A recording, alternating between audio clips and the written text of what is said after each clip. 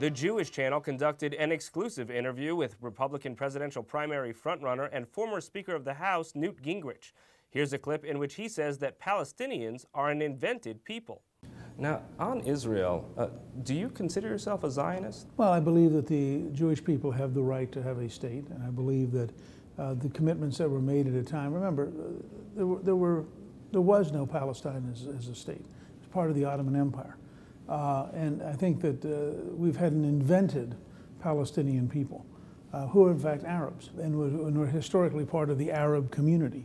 And they had a chance to, to go many places. And, and uh, for a variety of political reasons, uh, we have sustained this, this war against Israel now since uh, the 1940s. And I think it's tragic. You can see the full interview with former Speaker Gingrich on the Jewish Channel.